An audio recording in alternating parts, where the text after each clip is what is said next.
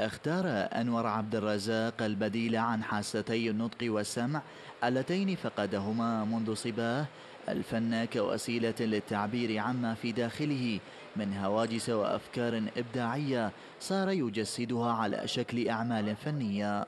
في معرضه الشخصي الأول. عرض أنور لوحاته التي اختلفت مواضيعها ما بين من تحاكي بيئته وأخرى بورتريهات لشخصيات عالمية إلى جانب رموز مدينته البصرة مجال الفن شدني كثيرا له فقررت الدخول إلى عالمه وأكثر اللوحات التي تستهويني الواقعية والكلاسيكية.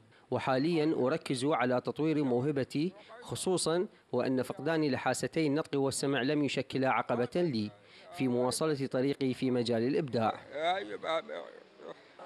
أنور عبد الرزاق العامل في بلدية البصرة بعقد مؤقت تعلم الفن بالفطرة وطور موهبته بدعم من عائلته التي تطمح بأن تراه فنانا تتحدث الناس عن لوحاته التي تمتاز بألوانها الزاهية.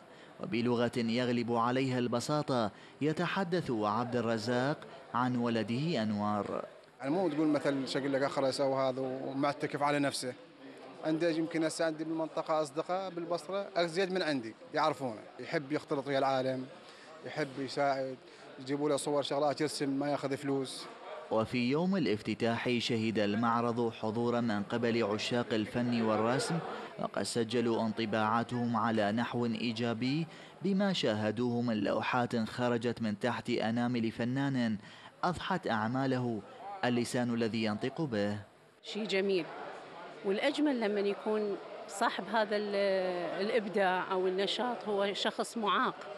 ده يعطينا رسالة يقول أني ما بي شيء أني مثلكم مثل الآخرين. اليوم نشوف أنوار طاقة جميلة معرض ينم عن موهبة حقيقية. ورغم أنه أخذ لوحات عن بعض الصور لكن ترك انطباعه. معرض أنور عبد الرزاق احتضنه قصر الثقافة والفنون وقد أعلن عن عزمه إقامة عدد من المعارض والأنشطة الثقافية لمن لديهم مواهب من ذوي الاحتياجات الخاصة تشجيعا لهم. حقيقة إحنا عندنا بعد أكو شخصيات أخرى من ذوي الاحتياجات الخاصة من الداون يسموهم المنغوليين. عندنا شخص رسام جدا رائع. إن شاء الله راح نقدم له نقيم له معرض هنا. وأكو شخصيات أخرى من ذوي الاحتياجات الخاصة نحاول ان نرعاهم. هذه اللوحة كانت ختام ما رسمه أنور في معرضه الشخصي الأول ليؤكد من خلالها أن الإصرار يصنع الحياة والإبداع. بالنسبة لشخص فقد حاستي النطق والسمع سعد قصي الحرة مدينة البصرة.